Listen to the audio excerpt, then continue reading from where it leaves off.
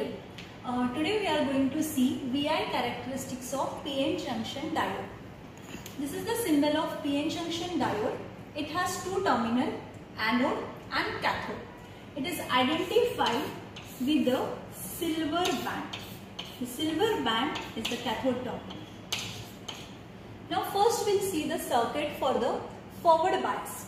For forward bias, anode terminal should be connected to the positive terminal of the battery and the cathode terminal be connected to the negative terminal of battery through the resistor of 1K.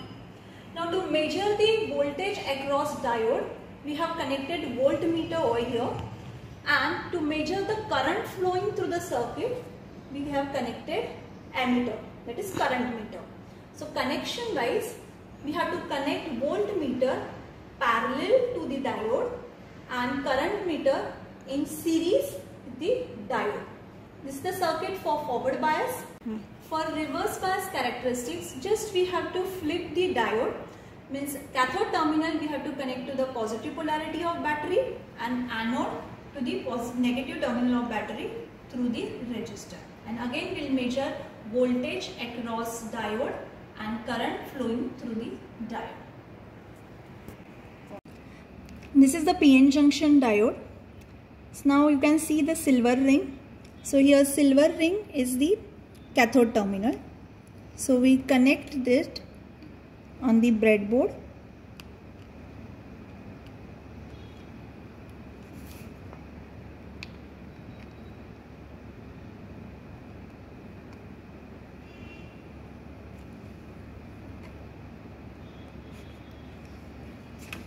Then we have 1 kilo ohm resistor.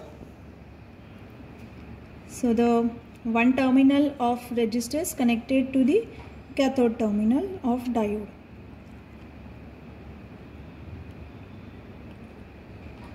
Now in this we apply supply to the anode terminal and resistor is grounded.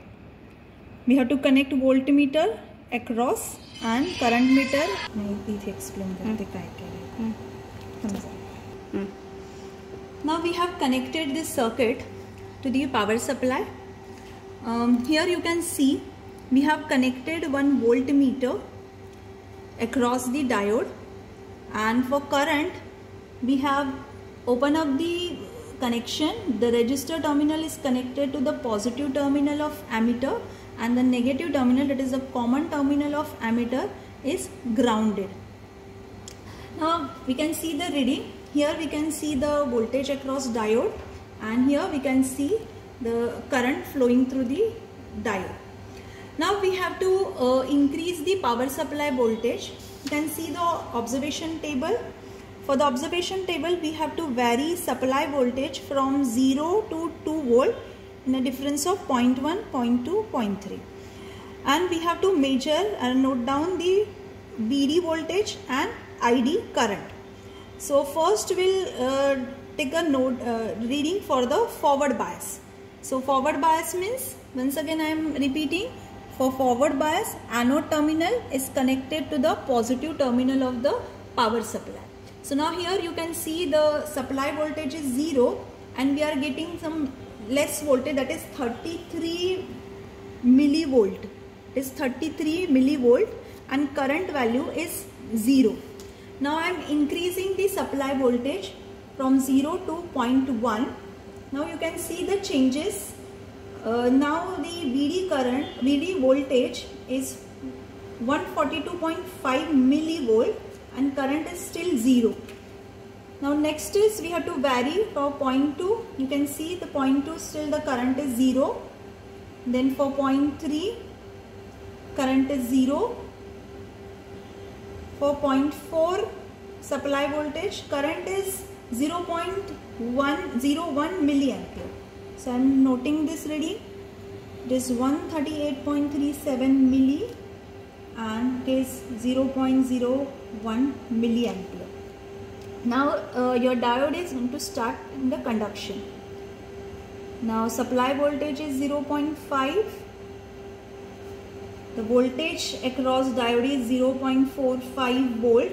Now we are whatever we are seeing here it is the voltage drop across the diode and the current start increasing 0.06 milliampere 0.6 is the supply voltage and the value is 0.489 current is 0.15 you can gradually take note down this reading. Gradually increase the supply voltage and note down the voltages and the current of diode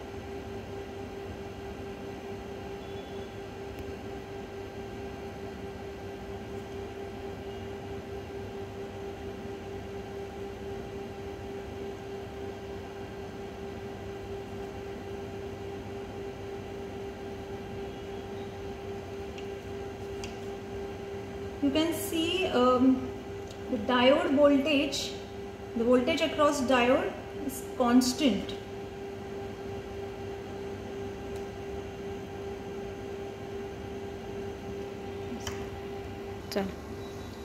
Okay so gradually we have to increase the supply voltage and note down the VD that is voltage across diode and diode current ID in milliamperes so as you increase the voltage, you can see the diode voltage remain constant.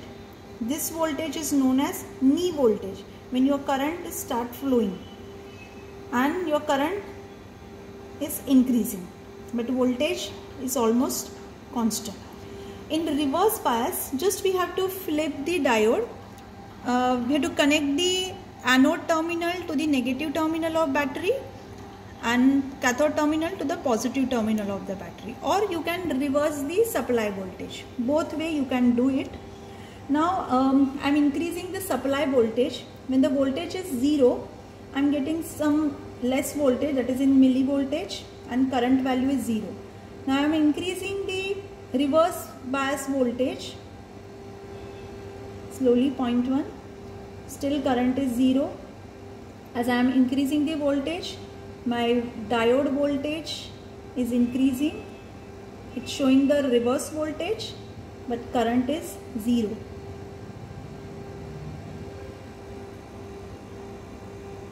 now you can see my voltage is 1 volt VD value is 1 and current 0 because the current reverse saturation current is very low. If I am using the microamperes scale then I'm getting 0.1 microampere. So at 1.4 voltage the current is 0.1 micro which is very small. So I to check it till 2 volt. So now my voltage is 2.8 and current is 0.3 microamperes so if I increase the excessive voltage, if my reverse saturation voltage is high, then my current value is very high and it will damage the diode. So we'll stop here and if we plot the characteristics of diode, so as per the reading, we have to consider this scale x-axis is VD and y-axis is ID, diode current in milliampere so you can see the graph of forward bias. When your current start flowing through the circuit that is the knee voltage.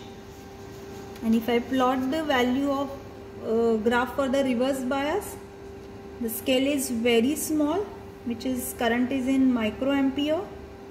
And you can see if I extend it it will go to the breakdown Thank you.